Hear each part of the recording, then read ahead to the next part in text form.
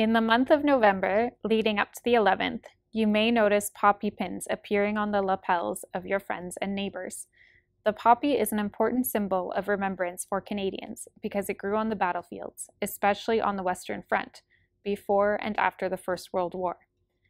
On November 11th, Remembrance Day, we take a moment to remember and honor the many Canadians who gave their lives to ensure freedom and safety today. Among the soldiers who served in the First World War were the members of the Number 2 Construction Battalion, Canada's only segregated Black battalion. At first, many eager Black Canadians were discriminated against and turned away by recruiting officers when they tried to enlist.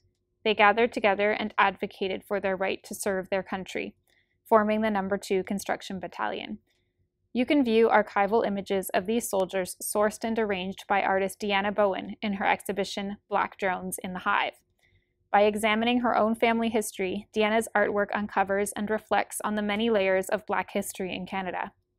In this photo, we can see a relative of Deanna, her second cousin twice removed, Private Columbus Bowen.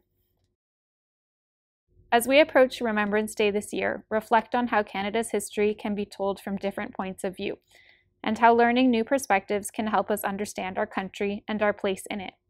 Create your poppy as a symbol of remembrance for everyone who served Canada in times of war and conflict, those in history that you are familiar with, those whose histories you are learning, and those whose histories are left untold.